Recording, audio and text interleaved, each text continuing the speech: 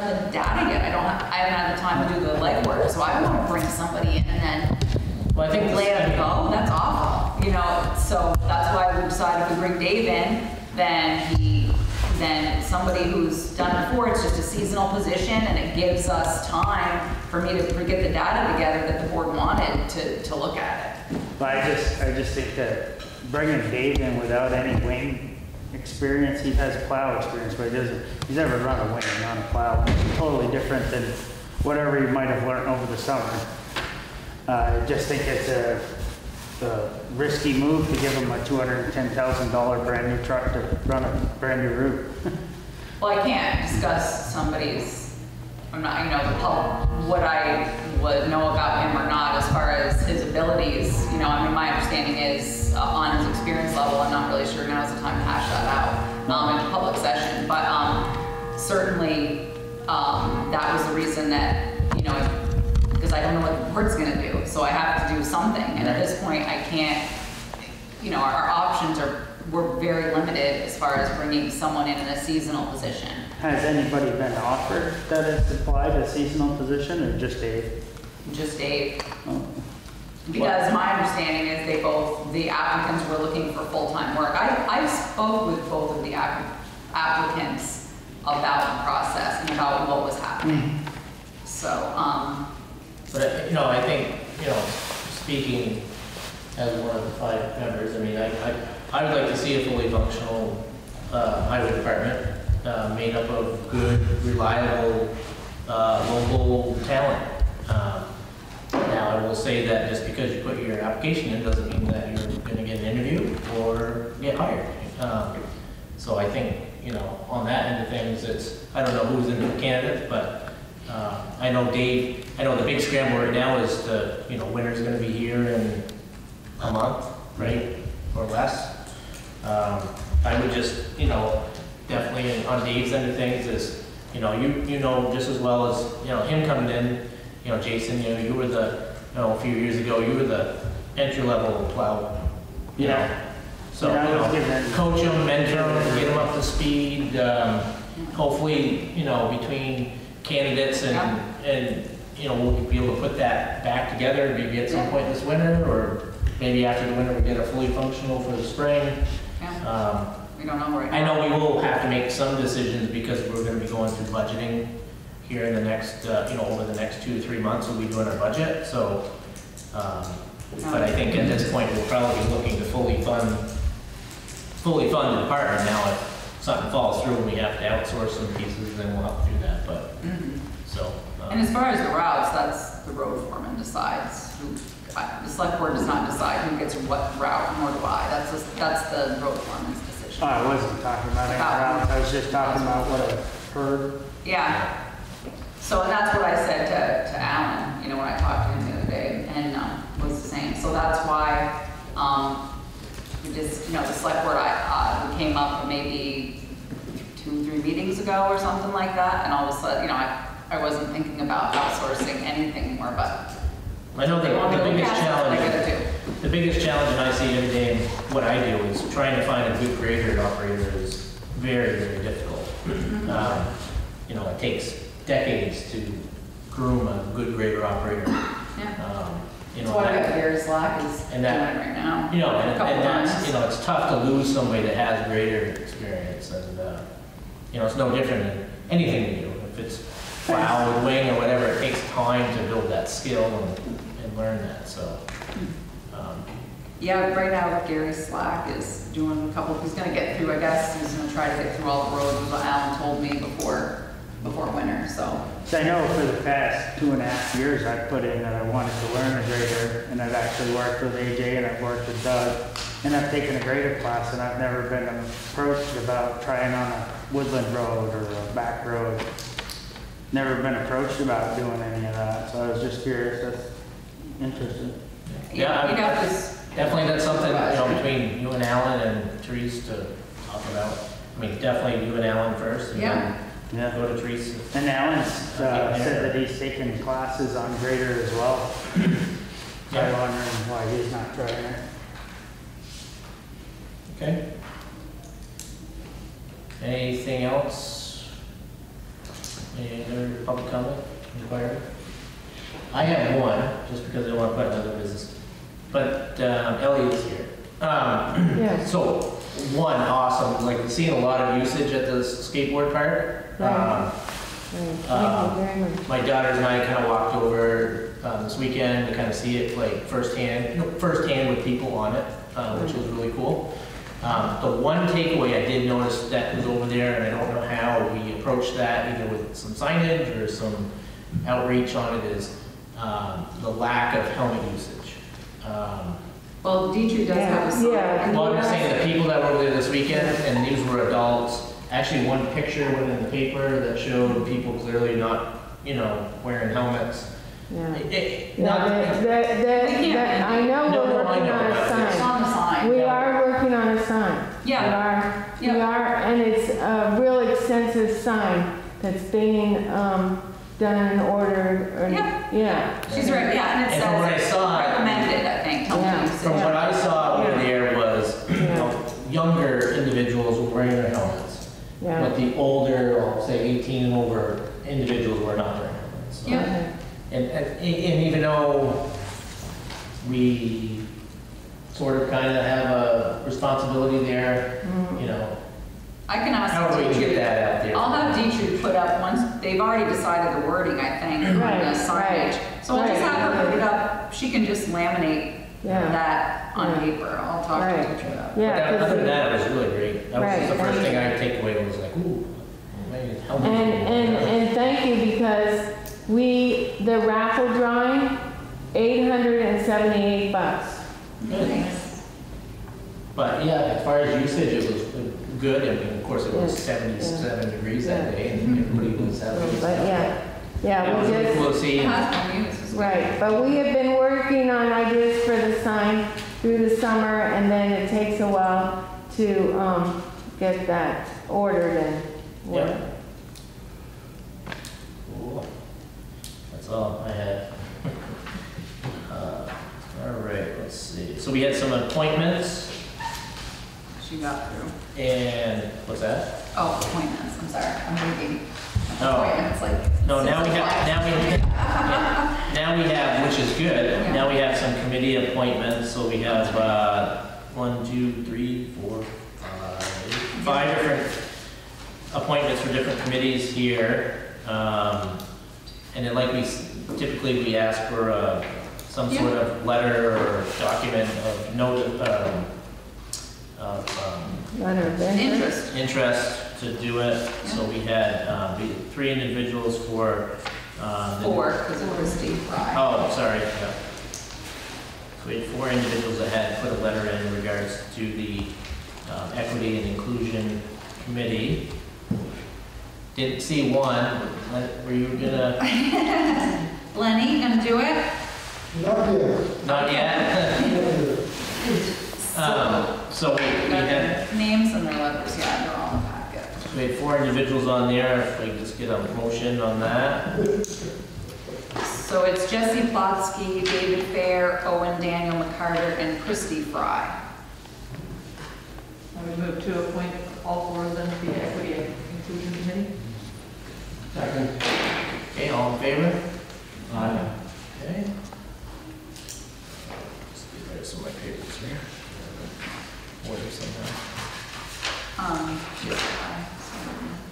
um, Used on the planning commission too, don't, I find a place for you if you're, holding out. Oh, that, just trying to figure out if it's planning commission. Yeah, I don't know, I'm like, where, where? Um, we also had, uh, interest, um, for Wayne Townsend for the planning commission, there was a letter in there for that. So if I have motion on that one, So move. Second. okay, all in favor? So what does that put the planning commission at now, officially three? Yeah, including me, yeah.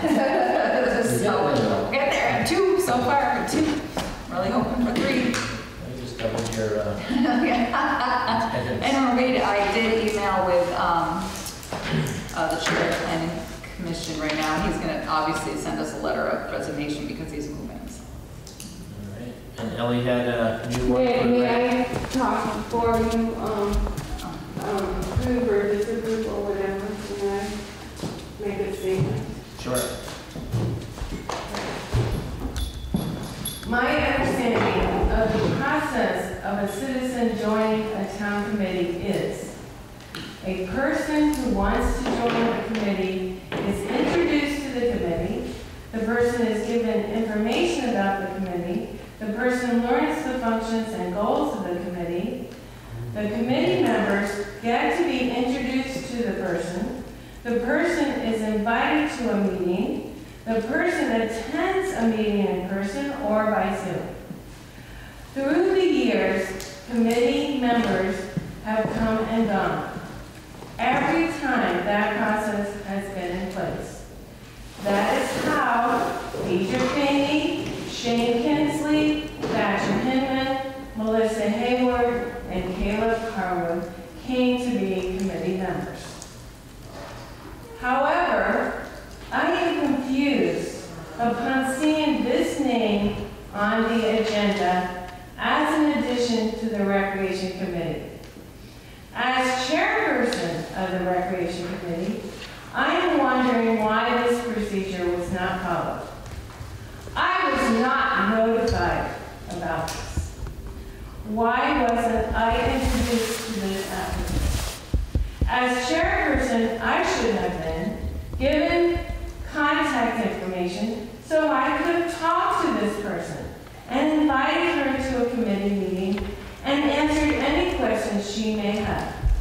I do not understand why this applicant is being considered to the Recreation Committee without going through the established procedure. Has the procedure changed? Finding out about this appointment because it is an agenda item puts me in a very awkward position. As a courtesy, shouldn't I have been notified? Well, I can say that um, since I've been at Bethel, I was never aware of the procedure that you outlined. And we have been looking for volunteers, as you know, aggressively, as have you. And so we put out the letter, we put out all the posts looking for volunteers. The only thing I was told was that they were supposed to submit a letter of interest to the select board. We have asked anyone who has, and I have said this publicly, I don't know how many times, um, that if you're interested into coming to, or joining a committee, I have asked people to go to the meetings so that they could get a feel for it.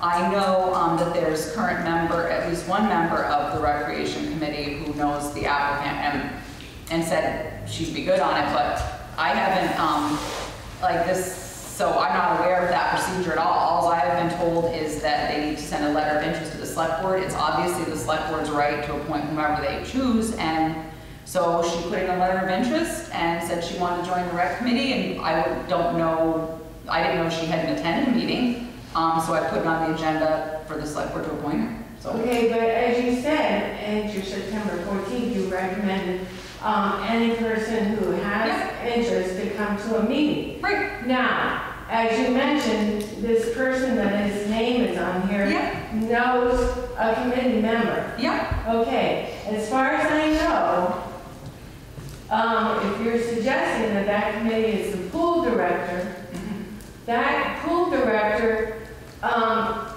uh, I would think that that pool director knows the procedure. Also, that pool director, um, in February, emailed me that she had family commitments and had to take, it wasn't the pool director, okay. so let- let's not. So I, I think, so, my opinion anyways, well, I don't think there is any formal, Uh-huh. there is no formal documented procedures for the Okay. committees on how, how people are, um, brought forward um, Okay. to serve on a committee. I know in the past, the only thing that the select board has required is that because there were times where people were nominated for a position and then didn't even know about it, and then got themselves on a committee or another role in government, Yeah, and then, you know, didn't show up. So the biggest thing that we have asked for here in the last few years anyways, is we want to have some sort of formal communications from that person expressing interest. Now, I, my opinion is, well, I mean, we have a couple of different appointments tonight, so, you know, the um, Equity Inclusion Committee hasn't really met yet, so they don't have people. So, um, so that piece of it, because it's a newly formed committee, literally, we, anybody that wants to be on that committee that puts a letter forth is, you know, being signed up for that committee. Mhm. Uh, Now, committees that already are established, like the Planning Commission, the Planning Commission Yeah, Wayne didn't come. the plan, planning commission, um, ended things, of course, they only have one, or two people on that, so it's easier for them to recruit, let's say. Yeah. Um, I would say that, you know, I would expect that, that the appointments, at least the committee would know about whoever the appointments are that are coming. Yeah, well, how do we, I don't know if she Uh, attended. I don't know anything about this person. So, Um, I, it seems like it's a rush job and somebody just, um, So I- met this person, I don't, I I, don't I know. would, I mean, my opinion would be, why don't we hold off on this individual? Why don't you schedule a time with your committee to invite that person in, um, to take part of the committee or, um, well, I mean, we can't just have people just throw names in, you know. I mean, I can all of a sudden say, hey, I know somebody that would be great on the, But whatever. she sent you a letter of interest, that was your requirement, that's what they've done. You have a, a person here who's, who's who's interested in serving on a committee that we have been begging people for years, people to get on committees.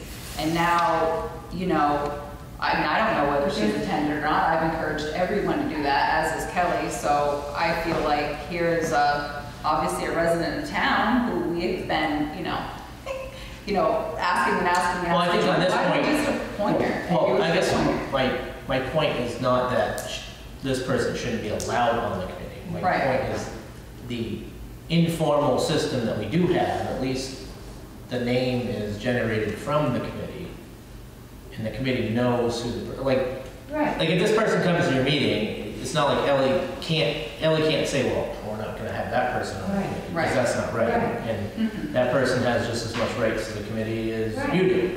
right. However, I can see her point where somebody she doesn't even know is coming on to be on the committee without anybody knowing about it. How do I know So, the skills? What's her um, interest in? What? But I'm just you know? one fifth. Right. Right, So, yeah. Uh, you know, the, yeah, And I don't have any of that information. I don't have any contact info.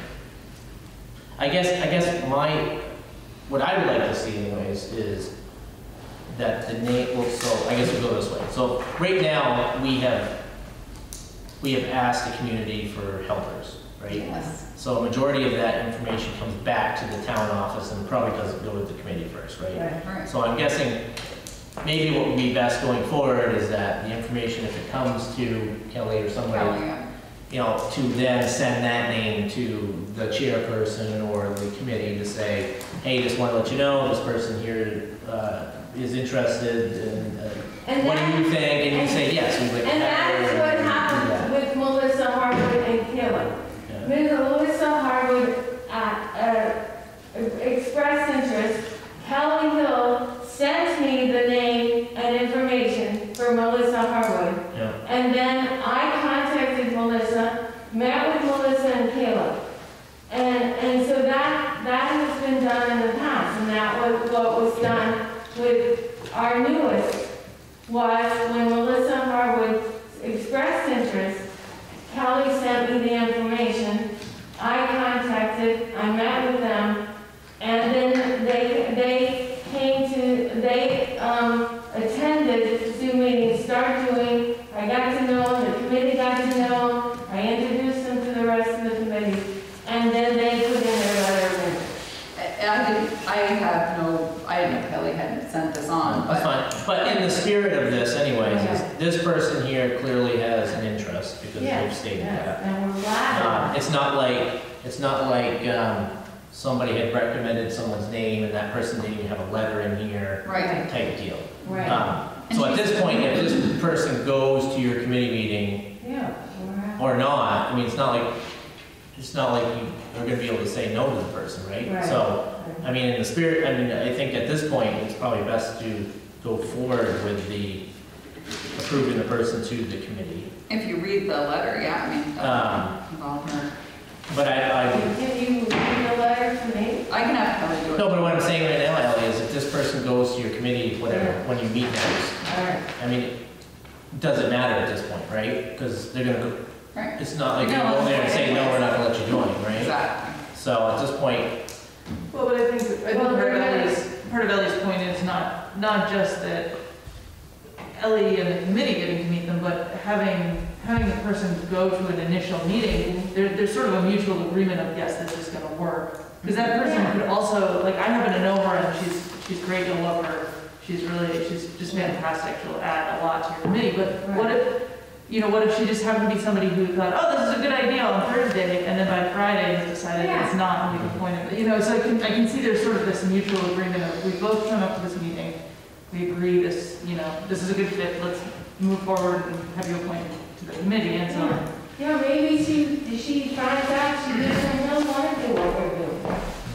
well, I know we've, maybe, maybe we ought to make a formal system. Yeah, I mean, As it board, because I I know why there is. And I think Lisa's recorded enough of them over the time, and I think, I think a majority of the people that have come through here in the past, someone from that committee that night usually is in attendance, and they say that they'd like to add so-and-so Right. to the committee, and then we usually ask, did we get a letter of, you know, interest, and then we say yes, or in some cases, we say, we didn't get one, so we need one before we can make that motion.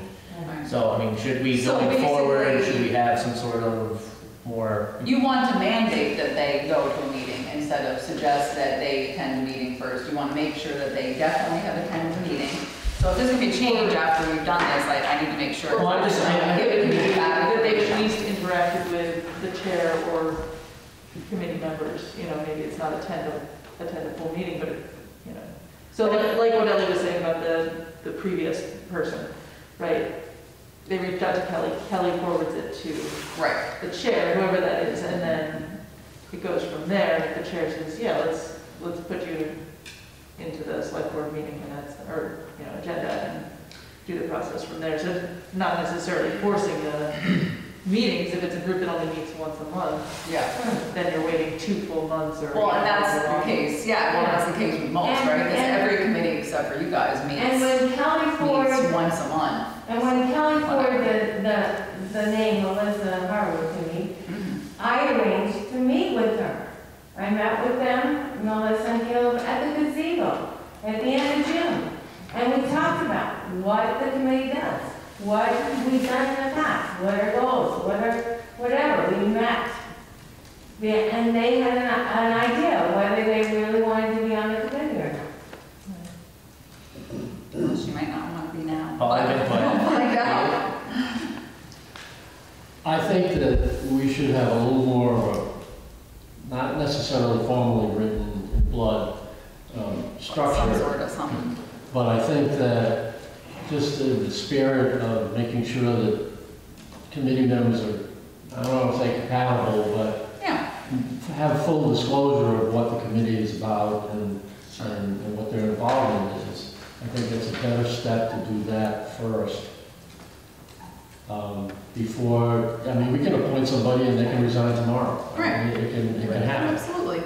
Um, But I think to go through the process, we can appoint the person, um, but in the future, have a little more of a, you know, a- a way in for them to Yeah, I'll have Kelly draft up the process and Yeah. give it to you guys. We'll figure out. Yeah, Dave, This which is do it over all- Can I say something? This is all new. Can I say something? you want the last or second to last? Either way. Uh, Why don't we have it that uh, the committee has got to recommend who's going to be on, the on, on the board? So that way, that they've already gone to the meeting, and, and somebody from the committee should be able to recommend whoever goes on to us. Does that sound reasonable? Whatever you want. I just need to know what you want, apparently. Dave? I think it'd be great if you want to uh, have a, what do you call it, a scope of what your committee does, or a Yeah. a vision, or. Yeah, we- we have it. Have that printed, Yeah, that's what I make it did. available to the person. Yes, that's- Not necessarily meet, doesn't necess, I'm not saying this person has to meet you. No, but, but we I mean, this person may need to see something in writing. Yeah. I'm interested in committee, you got a paper? Yeah, okay. Yeah. Give it to them. They put a letter, letter of intent, that's good enough for me. Yeah, we did the, we make did it the short. select. When, I agree, when we made, did the letter that we stuffed in all the taxes that got stuffed in, all- I, I the tax bills, so when they got stuffed in the tax bills, it did say, because we'd had this conversation umpteen times, we did do a little blurb about every committee that we were, you know, that we're looking for people for that had come from, you know, the town board, We've or whatever, but. had years of trying to get people. If you Exactly. start Adding more requirements, you're going to reduce the number of people that are interested, because they're gonna say, I mean, I'm sorry, a lot of, especially, God forbid for saying it, but the old time Vermonter, you know, hey, I'm willing to volunteer, don't jack me up. Yeah, yeah. I agree with Dave. And- Also, I, I would like to add to that, if they're not willing to talk to the committee leader, then they probably sh- should think about, you know, maybe what kind of commitment are you actually gonna get out of them? I mean, that's, that's what I would And think. and this isn't that nobody was, just to clarify, because Jason brings up a good point, this isn't to clarify this person didn't want to meet with anyone, this person wasn't told they had to. Right, right. Because we just suggest that everybody go and then we put in the letter of interest because we've been so desperate for volunteers. So there certainly can create a process moving forward and I'm happy to, to do that. Um, it just wasn't the case, I, that was just not, we didn't. Well, I just, it and I see both sides of it, because you have, you know, the one part that, you know, really, if, if you are an able-bodied individual in the town of Bethel and you want to be on a committee, then you have the right to be on a committee. I mean, I could see if the committee already has twelve people on it, and we're already saying, well, we've got too many people, maybe that person may want to look for a different committee type deal. Right, But I, I do see the end where, you know, at least the committee should know that there is an individual that's interested in their committee. Rather than this, because, because the way the select board is, you know, these committees are doing work of the select board, and we're not really dictating to them what they're doing. So in a way, if we kind of skip that process, we start just, you know, letting people go to the committee, then you're gonna feel like we're stepping on you, which is not the point of the committee, you know what I mean? yeah. But So you're saying, point's well taken where there are some people that will say, hey, I'm gonna volunteer, but I don't wanna go through all this, Yeah, all this stuff, with you're you. gonna lose me. Maybe just as a, you know, when we do have Yeah. somebody come in that, that uh, puts in a letter of interest, that we pass that along to the committee chair, just so they know, they have a heads up. to know. Does, does that work better? Here's- Yeah, just define the Here's a copy of the letter, about Then we, this or person- we end up appointing the Yeah, person I mean, to. this came as a big surprise. It just was a big. So why don't we, why don't we going forward, if we get somebody that, that is interested, especially with a letter, that, that one copy goes to whoever the committee head is, and the other copy, you know, is in the office. Yeah, so and then the stuff. Just to give. And then you'll know that, hey, we're, And then put this we'll person on the be agenda. surprised. so Then are you we'll be saying, shocked. so, so now you guys said two different things. You're either, either moving forward, you want the committee to nominate the person to the board, or do you just want the committee to be notified that you're appointing someone? So, so you've said two different things here. So I I just need think a the- straight answer. The flaw, and this is, you know, my hope Yeah. is this wouldn't happen, but the flaw with the idea of the committee, only, only the committee can put forth people to the select board. The issue there is, let's say Ellie stacks the rec committee with all of her cronies, and Yeah. Mo's super into basketball, but Ellie and her crew aren't. Right. And they keep Mo off the, off the team because he's into basketball. Exactly. They could, and they could. flashbacks, no?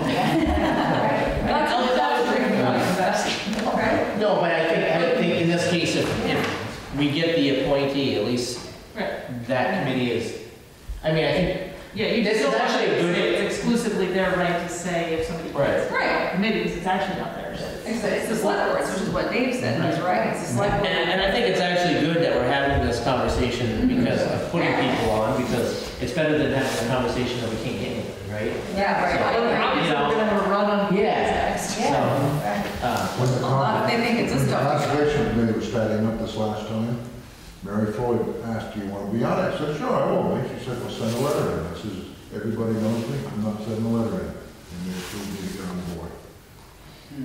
So it is good if we have the same That's process. Dave's point right there. is Yeah, mm-hmm. I'm sure I mean, Judy would because get a letter. I do, I believe, I believe that it is the select board's, it is within the select board's purview to drive what any committee's working on. Because you can delegate at any time, any topic that you want to a committee. And in fact, you have done that for the recreation committee. At one point in the past, you said you need to take plan, the master plan and work on it. And, um, so I agree, I think that Lindley makes a really good point, and, and obviously, I completely agree with Dave that we don't want to make this, you know, hoops of fire. I think as long as the chair of the committee is notified that, and they get the same letter to the select board, if it doesn't work out, it doesn't work out. And we get a letter of interest. Yeah, when you get a letter of interest, mm-hmm. the committee gets it, mm-hmm. but we don't wait on approval from the committee because people, like, I don't want to be waiting on planning commission people, for example, and the select board chooses who points to push your agenda, not the agenda of the committees. So I agree with, with mm-hmm. Dave and Lindley and Mo on this, that you, you notify them and the person shows up and they don't like it or they're not gonna be a good fit, then they say, they can write a letter of resignation and then we say, but try this committee, because this might be a better fit for you. But we are suggesting that everybody goes to a meeting first to just see where they're gonna fit. Just ask Lenny, I'm preaching that to mom. Try this one. If you're not there, we want you here, you know, so. Now he's torn between three committees. Yeah, that's right. Now Lenny's like, uh, select board, uh, planning commission, uh, you know. So do we, um, do we have a motion to approve this individual for the recreation committee? And I guess going forward, we're gonna So make sure moved. that all parties are involved. in- Yeah. So moved. Second. Okay, all in favor? And, um, may I have, um, contact information? Sure, I'll have Kelly send you the letter Okay. tomorrow. And I'm sorry, I'm sure Kelly will be sorry that she hadn't forwarded it to you. I'm sure it was an Thank you. oversight. Thank you, I, I thank you for not, for, for change, uh, for talking about this, so I won't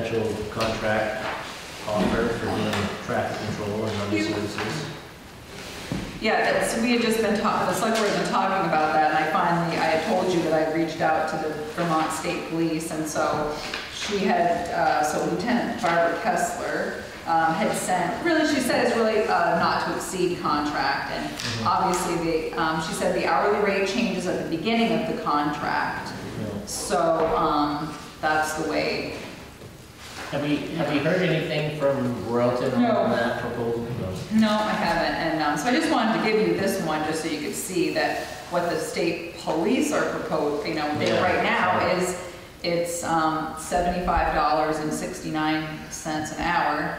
So for us, if I, I included the police budget, existing police budget, and um, so basically, if we took the existing current budget amount at 11 hours a week, it would give us 11 hours a week at $75.69 an hour. What Lieutenant Kessler did say is you only pay for what they actually work. So if they didn't work the 11 hours. Um, Obviously, I expect that you would see an increase in your, tra- in your traffic ticket, ticket revenue, which I think was like 2,500. So I assume you'd see an increase with that. If the state police stop somebody, they would get the money, not the town. Only, but if they If not, they're working for us, then we working would for get, us. uh, our that. Slim- So, slim it but again, that's just, it was just one of the options that you talked about, and so I just received the information, so I wanted you to see, hmm. that was the state. Of course, the one thing I was thinking of is like, you know, currently, even though they're not contracted to us, they do spend time in the town. So Absolutely, yeah, I don't- it is down it's hard to to, quantify what they are actually doing for us now, if that's yeah.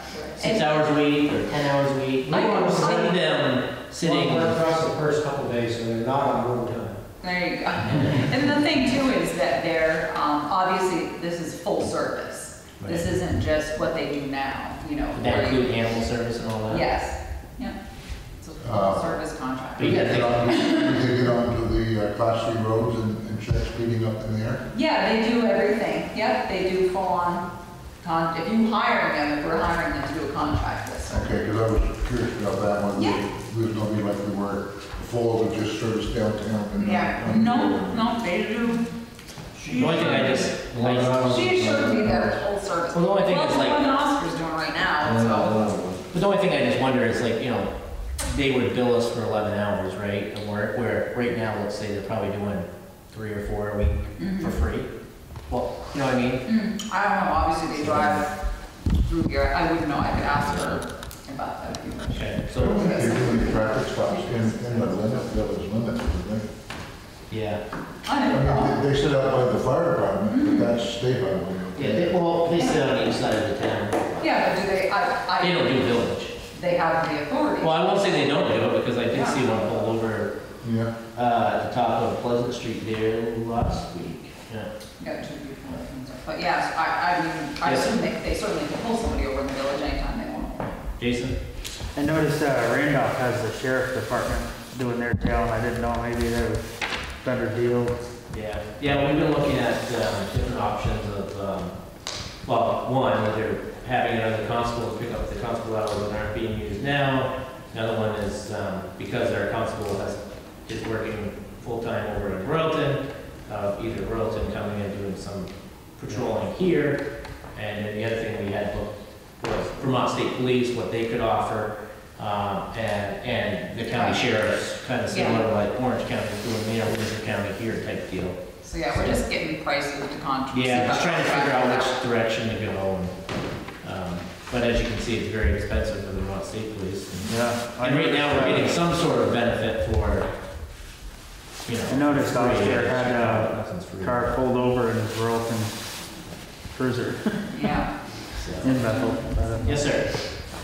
Yes, sir. Uh, My name's Dave Griffin. I used to be constable here in Bethel for seven years. And when I was constable, the state police told me if you drop the speed limit down below 30 miles an hour, they will not issue a ticket. Because the federal, because the state judges consider 30 miles an hour as a safe speed limit, and they will not uh, honor any speed limit under, under 30 miles an hour. I've never heard that, I to ask her. Oh, that's interesting. I've never heard So, that. and then state police, well, back when I was a constable, would not touch an animal. If an animal is hit by a car, other than a deer, I mean, a domestic animal is hit by a car, they have to call a constable to come and dispose of it.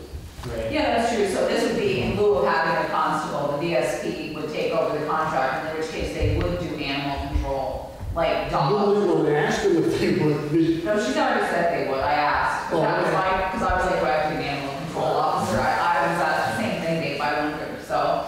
Um, but as far as the twenty-five miles an hour, I don't know, I've never heard of that, because obviously it takes, um, if the town has used a speed study that says that the town, that the, pol- that the, um, speed limit is twenty-five, then I would assume the VSP would be able to, I mean, the judge can't oversee that, but I don't know, I'd have to ask her, that's new information to me, I've never heard it, but it's interesting. Yeah, I know, that's interesting. And That's how it used to be anyways. I'll ask, that's good to know, Dave, I've never heard it, so I'll ask her. Yeah, I wonder if that would be upheld in a school zone. Yeah, Yeah, that seems crazy, but I'll ask her. I think the courts wouldn't say that thirty miles an hour if it's posted at twenty-five is Yeah. safe for school zone. That's interesting, so I- I'll certainly ask. So thanks for bringing that up. Well, I would say, that, you know, in the history of the speeders we do get, I mean, they're That's, that's doing where it is. sixty plus in front of the school, you know. Pretty easy to get them there. No, they're doing that on the class C roads too. Yeah. So, so we'll continue to, um, collect, uh, information on that and, you know, budget time, we'll have to figure out which direction we're gonna go with that. Have we, have we, have we talked about any interest on,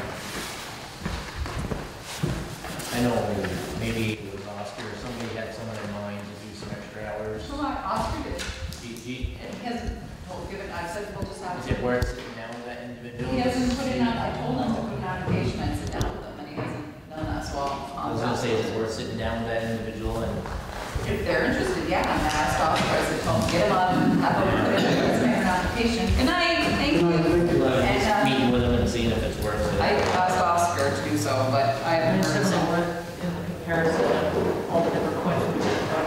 Yeah, yeah, Knowing definitely. if that's an option.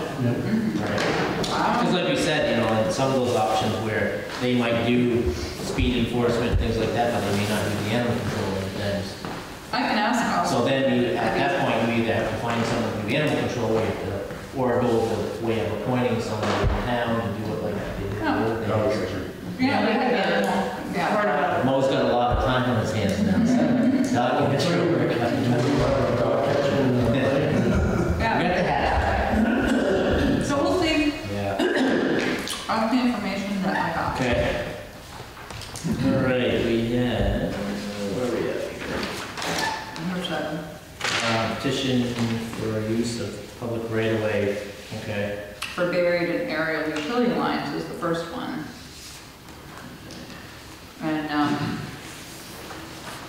I don't know if anybody had any questions, comments, changes on that, Where is that?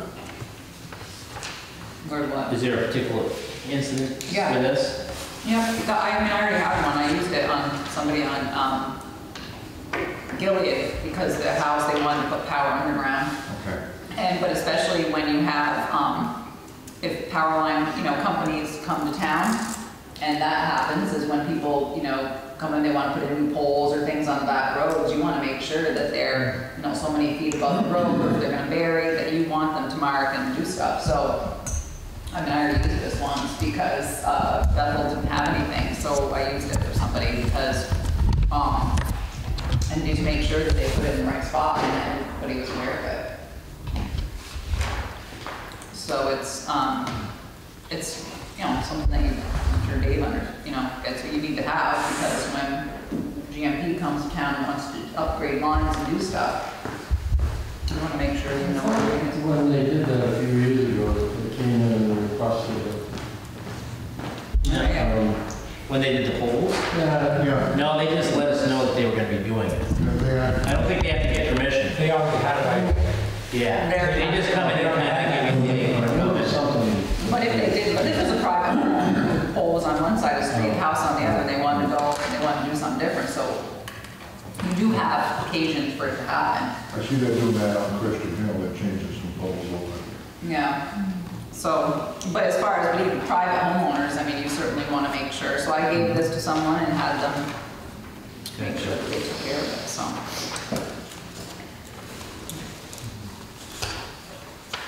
And I think that we had, I know we were charging hundred and twenty-five bucks for the permit to work within the town's right away. So I would assume that we would do the same thing for this one, is make them pay hundred and twenty-five bucks to, but you want to make sure you've seen it and you know it's done right.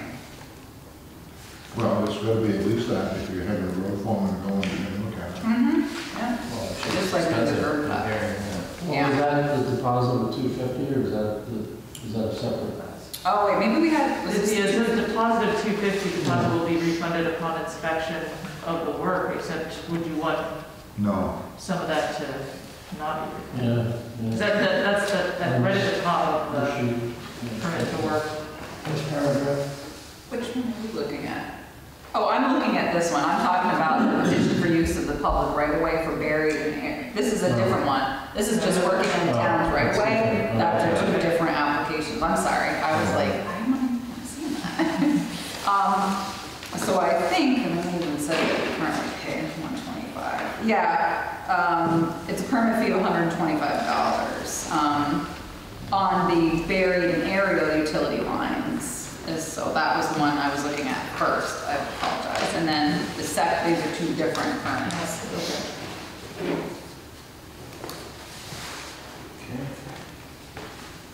So I don't know if anyone has any questions or concerns about the buried and aerial utility line. Does this apply to cable, like DC fiber?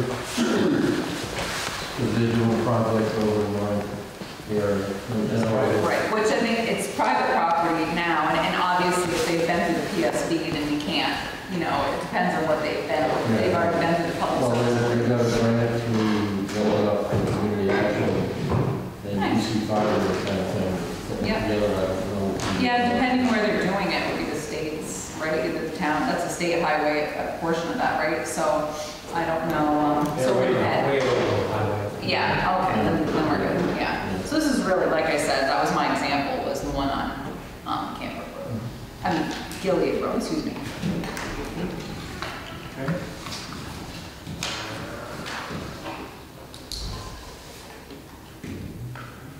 Talk about permits, did we get a curb cut permit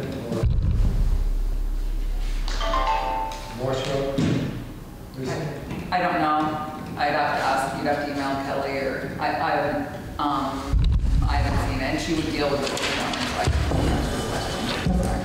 I don't know. They've got a driveway, A new driveway. a new driveway. Like I said, I don't know, you'd have, we'd have to ask Kelly. I- She would have got a permit and give, dealt with the road foreman on it, so it's a possibility. You just want to be careful, because we went after one, one resident pretty good about that. so- Yeah, I'll, I'll ask Kelly, so it's Morse Road. Yeah. So are we okay with moving forward with the motion to approve this permit? Just because I don't know, what's MUTCD? It's a manual of uniform traffic. Controlled. So it'd be like if you have to put a flag person in the road or the signage that Yeah. we used or, It's a manual, like, what this thing? yes, national ma- manual. Yeah. You should read it sometime. Yeah, I've read sections. No, it's my enough. brother-in-law did. He did, when he worked for the state, he did a job on the interstate up near St. Albans. Hundred twenty-five thousand dollar job, Yeah. two hundred thousand dollars worth of signage. Oh, sure, Yeah. yeah, Yeah. yeah. I get it. Yep. That's lot of our, lawyers that's out all there. it work. Yeah. So, did someone have a question? Because nobody made a motion. So does Any- someone have a Any question further about that comments one? in regards to, The the buried proposed aerial permit? utility line? We did just the first one. Yeah, just the first one. Just the Buried, first one. buried.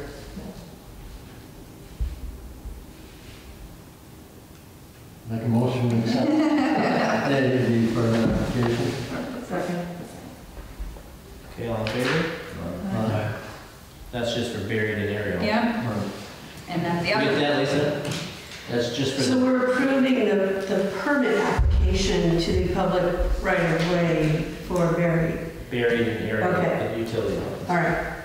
yeah, the next one is the next one, is the permit to work within the town's right of way. So the way, yeah, this is for work, which we talk about, this goes in conjunction with the highway access policy that we, you guys approved a while ago, because we do talk about in there that they have to get approval from the town. Mm-hmm. And so what we talked about, or what thought here was, we could make them pay a deposit, and then they, we could refund the deposit to them once, you know, the road foreman looks at it and then decides that it's, um, you know, that the work has been done right, because they're paying to do the work, so like you don't wanna penalize them, but in a way you wanna hang on to something so that maybe they want their two fifty back, you have some bargaining to make sure that it, the work is done properly.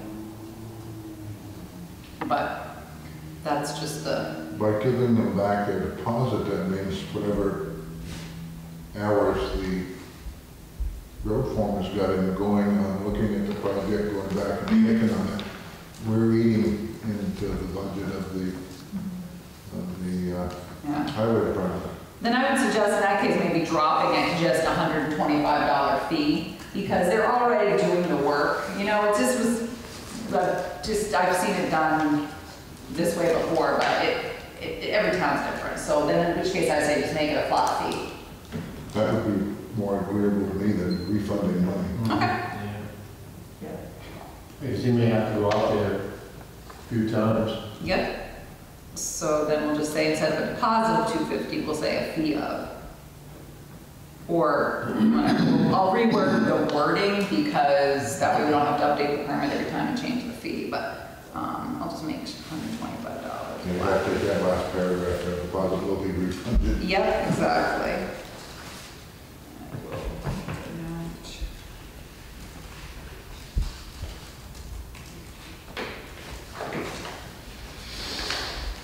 Okay, do we want to have a motion to approve the permit to work within the town's right of way as amended? So move. Second? Okay, all in favor? Aye. The only change on that, Lisa, is going from a two fifty deposit to a one twenty-five flat fee.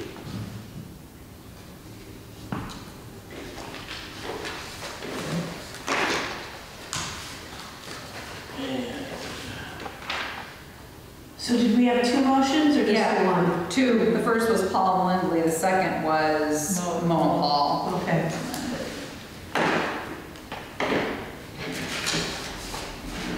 And the first was for the permit application and the second was for the, for the public right of way, buried utility line stuff. For the first one, yeah, and then the second one was for the work in the towns right away. That's Okay. I can, yeah, Okay, thank you. yeah. Um, Okay, discussion regarding accepting postmarks on tax and utility bills. all right, I had to bring this because Dietrich said, this is seventy-six right here. So what happens is, the town of Bethel accepts postmarks. And so what happens is, if, we'll just use an example, we'll say, um, I pay my taxes, I, I commit, I mail mine it's, it comes through postmark, so it's, we say it's on time. But Chris Jarvis doesn't pay his taxes, and he comes in the next day, even though mine isn't gonna show up for three days because I have a postmark, uh, Chris is gonna get the interest and a penalty, possibly, depending on what time of year it is, but I'm not gonna get anything. So, like, we always assess, as soon as the, the taxes are due, the next day you charge interest. So then this time Dietrich had to reverse 76 interest charges, and this took forever. So what happens if people get upset because they might say, well, somebody mailed their payment and we're charging them, but somebody who's, um, or you know, we're not charging them because they mailed it, but somebody who comes in the office is getting charged. So basically, um, where I, so where I, I had asked about this at a prior select board meeting, or a couple of years ago, and, um, they didn't get anywhere. So we also do this because you accept postmarks on taxes, you also accept postmarks on utility bills.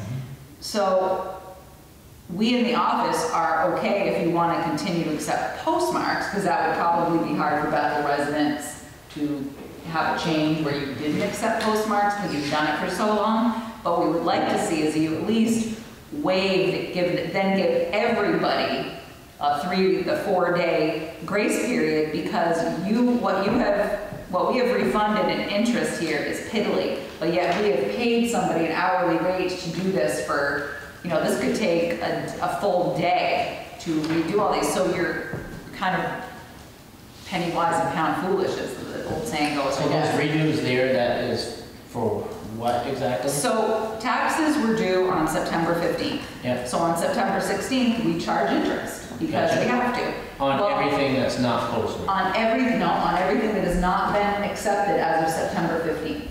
Taxes were due September 15th. So September 16th, we charge interest to everybody because um, that's what we have to do. Because otherwise, um, if you waited four days, then everybody who, because that's not the real law right now, it's, it's if you accept postmarks. So if they were, if somebody walks in on the 16th, we charge them 1% interest. Because they, they're coming in But if they walked in, then they wouldn't have had a chance to postmark anyway, right? Right, exactly. So what happens is So on. they would get hit with interest. Right, so, so what happens is, September 16th, we charge interest, then we get 76 postmarked envelopes.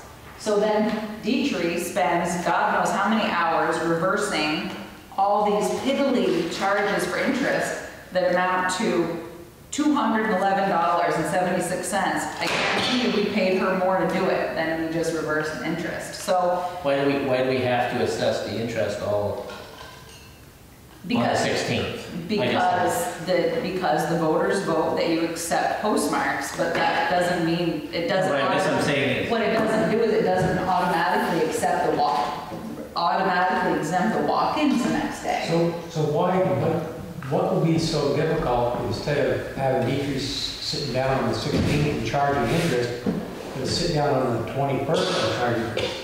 Because right now, we can't, we don't have the legal authority to do that, because the voters voted at some point in your history that you accept postmarks. They didn't, Understood, so you just, at, at the 21st, the postmark ones would be in it, right, so they get put over here. but that, Anything that didn't come in, didn't have a postmark, or didn't arrive by the 15th, then gets interest. and that's what we've been doing. We've been, we charge on the 16th, But that, but that, that- that's not what it's, Yeah, but why don't you just charge? Charge, instead of charging on the 16th. It becomes- Because- it becomes effective on the 16th if it's, if it's not postmarked. Yeah, but why That's what we, okay, hang on, one at a time. So what you're saying is, you're saying don't charge interest until the 20th, and then I can't go back, then you, I can't go back and charge it. So you're saying on the 20th, charge interest to anybody who hasn't paid? Is that what you're saying?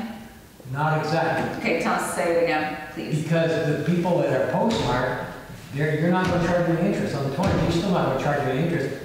I mean, you give it back, so you, you wouldn't charge them on the 20th. But I don't know who has, So what's, is there a statute that says that on the 16th, you have to charge everybody interest that's not paid? yes, that's right, because you voted on it at town, because you voted on it at town meeting that you accept postmarks. You didn't also say, we, we, we accept postmarks and we give a four-day grace period. So because of that, the statute is clear. If you, like, for example, Bristol, we didn't charge postmarks. So the cops emptied the mailbox at midnight, and if you had paid every, you got interest penalty. It was clear as mud. But with this, it's a little bit, you know, it was clear because that was it. midnight, you were shut off. But here, that's what we're saying, is all we want to be able to do on town meeting day is have the voters vote that you still accept postmarks, but you also give a four-day grace period on, or something. Because either don't accept, let the voters decide, either don't accept postmarks anymore, and so it's clear everybody's late is late, or give everybody a four-day grace period, what is basically what you're doing by accepting postmarks. Why can't you, right now, so on the 15th is the deadline. Yeah. So anything that happens on the 16th or later that's not postmarked, Mhm. I I understand that we have to charge them interest and mm-hmm. penalties and things like that. But what, because, because on the 16th, you're gonna have like one or two things. You're either gonna have, well, you have three things. You're gonna have the people that have already paid, Right, and they've the already. people that have postmarked it on time, that's in the mail, that hasn't shown up, Yeah, and then you have all the others, right? Right. That haven't paid yet. So if I'm one of those people that haven't paid yet, that's not postmarked, and I walk into the town oh. office to pay, then you charge me interest. I do, But why do you have to charge interest to people that are postmarked that aren't there yet? because Why don't you just hold off on those? how, how, how am I gonna know who's mailing there? Yeah, you don't know who's I don't know gonna be who's coming mail. in the postmark. I don't know who's gonna be No, mailing. but you're gonna, I mean, I, I I think, can't go backwards, I, I have to, it's a one and done. but if someone postmarked that thing on the 15th, I mean, I We mean, granted, it didn't, could we be didn't lost in get mail it or for four something, but. days, this, we. we No, but I'm checked. saying is why do you have to go through the very next day and assess penalties? Or interest. I understand that the penalties would start accruing on the Uh-huh. 16th, but why do you have to go and actually print them saying, look, you owe us money? You know, why can't you hold off on that for a few days? Like Dave said, like why can't you hold off like a week to do that? Because what I'm saying is we don't have the authority, the voters. Yeah, Because, but no, well, you're still gonna assess them the penalties. but then, what? yeah, but what's gonna happen is if So it's the So- wording. So basically, if you walk in the door, so basically, all we want to do is deal with postmarks, because what we're saying is, because we do what we do, which is charge it the way we're supposed to the next day, um, because then what happens is you come in and pay the next day, and we charge you interest, so then basically what happens then is, you come in, I charge you one percent interest, and you pay the one percent interest that hasn't been charged, so now you have an overpayment on your account. So when we go in four or five days later to charge you interest, there's still adjustments that have to be made, because now you have a prepayment. It's, part of it is the software, it's a little bit tricky to go in. Either way, we would be doing adjustments. So, but kind of as far as fairness goes, we were looking at it as the aspect of, is it fair that these 76 people got four more days than you did to pay your taxes? No, they didn't. No, they, they paid it the same day. It would have been kiting a check for all you know. I'd like to not think that. I'm just But like, that person That could could be, be- that but could again, the postmarks, I mean, I know there's probably people locally that postmark their stuff too, but that's um, really for, you know, you're living in Florida and you Yeah, but send your this payment in the mail. Because You of get a grace period because you don't know when the postal service is right. gonna- And this is odd because, they- because of COVID more. I just don't know why, why can't we hold off? Like, I know that it's gonna start accruing on the 16th, but Yeah. why can't we hold off on making the adjust, adjustments internally. Until we have received, Until we receive postmarks four days. or, or something, you know what I mean? Like, then you wouldn't have to do any of that. I got, yes, I, I understand what you're saying, but I still think it's gonna create, we'll try. And then anybody I still comes think it's in, gonna I create an mean, if you issue. come in the 16th, 17th, 18th, you're gonna get charged. I mean, Yeah. it's just, Well, we have time again before another, One more select- question. before another warning, so we can try it, but I think what happens is, I think it still goofs up in NEMRC because I think it posts your interest as a prepayment, and I think we would still have to go back in and make adjustments to some people, so I- I'll have to see, Chris. I mean, I agree that, I I think we all agree that that is a waste of time. Two hundred and eleven bucks. But I gotta think there's a way in that system to, It's sort of sounding like you're, you're a bit locked in by the software that you're using. The It's like, it's software either all or none, it's, it's gonna Yes. charge it on the 16th, or It's gonna you're charge charge it on the 20th. Like, but then you don't can run it. into, you know. I gotta see what. But you could also run into, because the voters have already approved the postage, I mean, you could set a date of the 20th that you're gonna lock that in, right? Right. But you may have something that comes in the 22nd that was post dated the 14th. Sure, you know? I mean, and if something's They got lost in postmarked. the mail or, you know, or- Yeah, we'll honor it. Yeah. Yeah, we'll honor it if it shows up 30 days late because it's postmarked, but it just creates, this is just taxes, this isn't water and utility, so it, it's just an ongoing issue, but I'm It's sorry. definitely a waste of time. in my opinion. Amen to that. Yeah. Numbers, how many, you had 76 that you had to refund. In September, yeah, alone. So what's the other number that you didn't have to refund? So what's the total number of Well, interest charges? I guess if you have to take a guesstimate, right, if you had, I don't know how many people were late at the time, I'm just saying But the point, the point is, there's 76 you had to refund, and there's only three people who charge interest, what the hell? Yeah. There's 76 you had to refund, there are 197 that had. You charged interest, yeah. Then, Right. It's a, it's a. Still a waste of time, but- It's still a waste of time, because it's two hundred and eleven dollars, and you know we paid her more than that to do it. It, it just becomes tricky, because we also, you know, we're also sending out. What about other towns? You, you try to, I, I, everybody's a little different. Some towns don't accept postmarks, and then life's easy, frankly, because they don't accept postmarks, easy game over. And, um, but if you accept postmarks, I do think there's some town that give, they do give, sometimes they give people a grace period. Um, well, in And that everybody in that way, you- we paid your taxes all in the first shot, you got a discount. there are towns that Used do to, that. used to be that way in this town. And, it- and that's true, you know, and you just factor in that, because then everybody pays that for that. So it, it kind of depends, This but go- If this goes on the morning, this is probably gonna take us an hour and a half. time. apparently. This will be the, the last thing before lunch. you know? Visual, ex- what What can we, what can we do to get it over? Well, the other, you can't, it has to go in front of the voters. So I guess what we'll do is we'll, I mean, how does the select board feel about just not accepting postmarks anymore?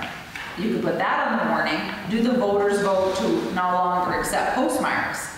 then it's like, they're either gonna say yes or no, either, I mean, I understand the postmark thing because if you are a distance away, mm-hmm. like I'm just gonna use the example, I just, I watched something about this person in Florida that won money on a scratch ticket and I don't know if anybody heard that, but they, they won like a thousand dollars. But because it was over a certain threshold and then COVID hit, you couldn't bring it to the regional office to cash in that thousand dollars. They didn't get their money. So they had to put it in the mail and then somehow it got lost in the mail and then by the time it got there, it was over the time that they had to do it, so they didn't get the thousand dollars. all right. So we'll figure it out, we'll I'll talk to, I, we're gonna move on because I can't handle it anymore. And we'll talk about, um, So does that mean it's tabled, what, what, what We'll official just, we'll language? talk about it. You know what, we're gonna do it right off here because October 14th will do the same thing because, you know, no, actually, uh, November. So we'll know in November, so we'll rehash Is there it. anything that NEMRC I could talk people to her. can I'll do talk to differently in our system? or- I'll ask her, I doubt it, but I'll ask her. I mean, it Um, definitely is a waste of time. And amen to that, and it's a pain. I just don't have, don't pay taxes. Well, and the other thing is, do you know how mad people are when they come in and you charge them ten percent, so nine percent penalty and one percent interest, and their, their neighbor is mailed a check in, but they are paying and they're mad because they didn't think to go get their. I remember last year when we were paving in front of the, you know. Yeah, oh, tell me about it. Can't they read it down? you know, mail it earlier, whatever. I am gonna put a notice in the newspaper, just so you know, because of COVID, um, we are gonna ask that people mail in, the majority of people mail in their tax payments in November, because, um, we can only have one person in the office at a time, so that they can kind of see, and, and I think it, you know, people did get a little confused, but now that they have a new tax bill, it shouldn't be that difficult. But we are gonna remind people about when taxes are due and ask them to mail in, and if they want to receive, we'll mail it to them and all that. It just, it does make it, um, because of COVID, Can they still drop it or the mail? Absolutely, yeah, so we'll put a note in the newspaper, they can do all those things, but, um, because of COVID, it's, you know, obviously the state is concerned that there's gonna be an uptick because windows are gonna be closed and things are gonna be you know, changed, so. What about online payments? Have you looked into that? We, over the years, yes, and, um, but do you, nobody wants to pay a three percent convenience fee on top of what their taxes already are. So there's very little buy-in on that, It's depending on how you do it. I paid mine last year twice that way. Didn't cost me anything. yeah. What, your taxes? You could, you Yeah, put it in a tax bank online. transfer. Well, you can, if if you want to use like your bill pay or something like that, of course, but for the people who want to on their credit card, Is there a fee for that? they gotta pay a three percent. But there's no fee if you want to do on your bill pay, there's no fee, which you could do, but there- this is for people who want to like run oh. credit cards. You wanna watch out your. You- because but they you go best Six to believe ten days. It is, and people have gotten caught on that several times, but just because you see it come out doesn't mean they're, we got it that day. So we'll take a look at this on November and we'll have better data for you on November 15th. How's that? Sure. Anything that we didn't go over on the town manager's report? I think so. Can I, tell- we got on here, uh, next on mine is something about speed study on dirt road.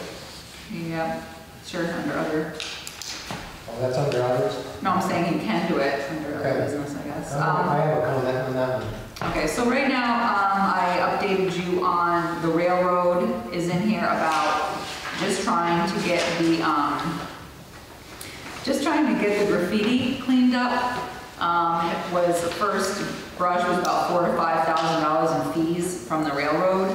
Um, but with Trinity Broussard's assistance at the state of Vermont, we might get it done for free. I'm obviously unsure about the timetable, but she's, she gave me some paperwork to fill out and get back to her. This is for under the Church Street Bridge, and it's been on your pending list for a while, but it's, it's crazy because they wanted us, to have to pay an exorbitant amount, four to five grand to go in there and to get, by the time you paid specific flagging fees, the road crew had to take classes, and it was It's crazy. amazing, but the artist didn't have to. I know, that's what I said, I know. So I just wanted to let you know, we're kind of, it it hasn't been. Just leave a pail down there, Lots of stroke at money. midnight, and it'll be taken care of. I know, you know, but it's, it's quite the thing. And then obviously it already came out that we've rehired Dave Bergeron for the winter, and it's due to the fact, you know, which we already went over. Um, so that was, the- really the only thing about, on the town manager's report was the railroad. I just wanted you to know how exorbitant the prices were for that. It's crazy.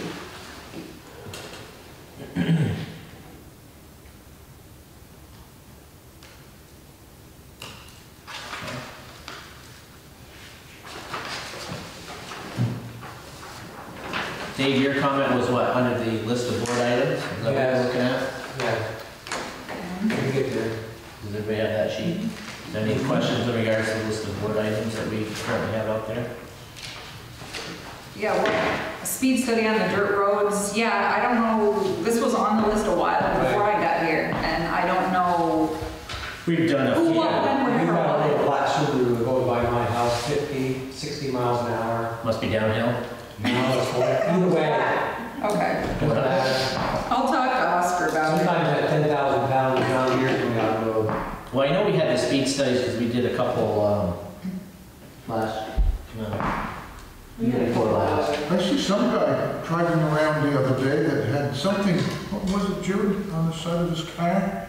Uh, Traffic survey?